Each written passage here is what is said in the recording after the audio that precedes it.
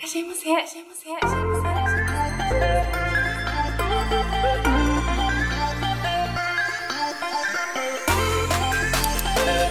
せ。皆様こんばんは。元美容部員の和田さんです。ということで、本日は元美容部員和田さんの底見えコスメをご紹介していきたいと思います。結構私自分でも美容部員時代ですとか、YouTube でやっている事柄的にも、基本はコスメとかをすごく新作を購入したりとか、まあ、使わせていただく機会がすごく多いんですけれども、その中でも本当にそこがこう見えてしまったそんなコスメを今日はご紹介していきたいと思います。それぞれちょっと私流の使い方ポイントもあるので楽しんでいただけたらなと思います。それでは本日もどうぞごゆっくりとお楽しみくださいませ。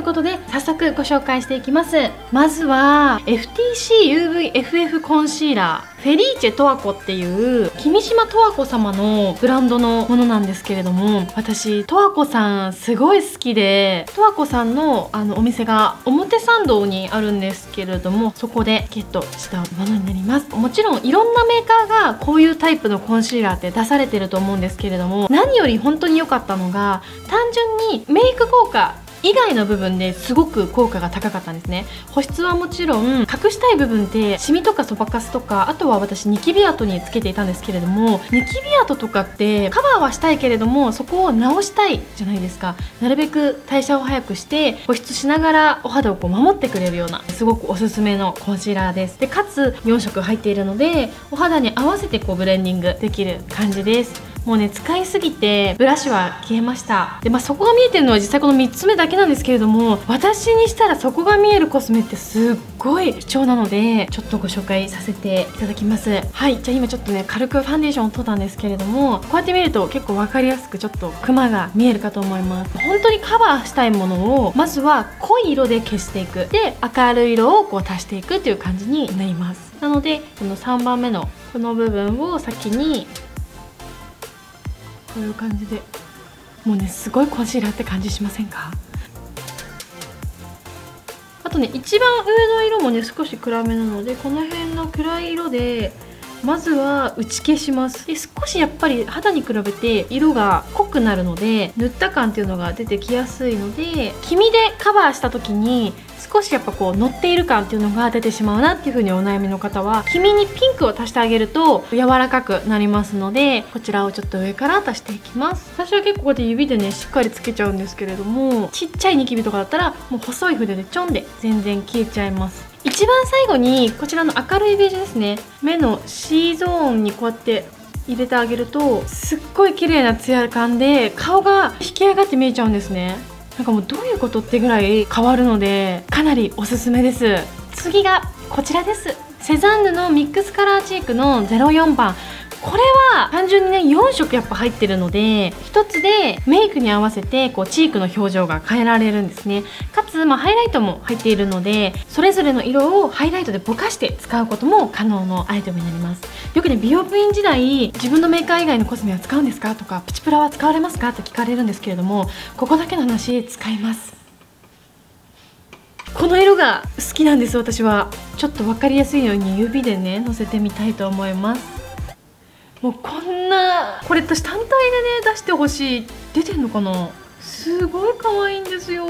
少しちょっとこう青みがかかってるのでハイライトを取って、まあ、ぼかすっていうのが結構主流の使い方でした。急にこうね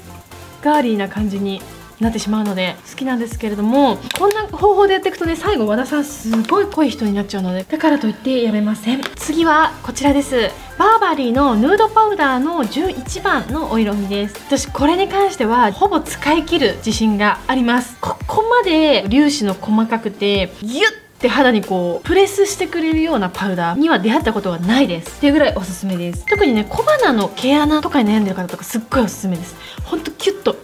なくなったような質感にしてくれます。続きましてねこちらです。不老不死のイオンデクッションですね。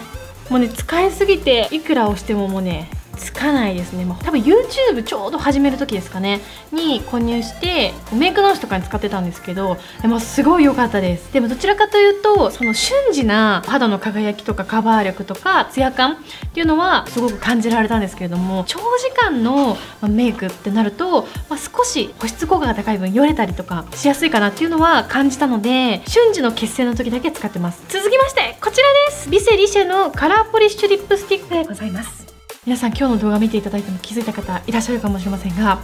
今つけているおリップなんです。私ねリップ何本持っているんだっていうぐらい確かに持ってはいることは事実なんですけれどもこんなに濃厚でかつけばくないピンクって最強のもの来たなって本当に思いました。これなんですけどちょっと重ねてみましょう。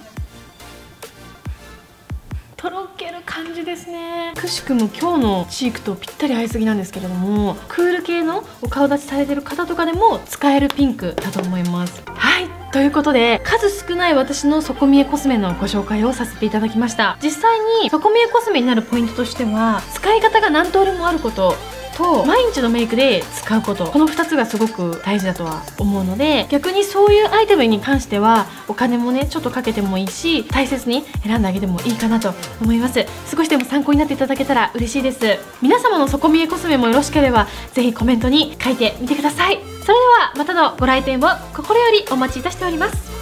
本日もご来店いただきまして誠にありがとうございました。他にもおすすめの動画がございますのでチャンネル登録よろしくお願いいたします。ご来店ありがとうございました。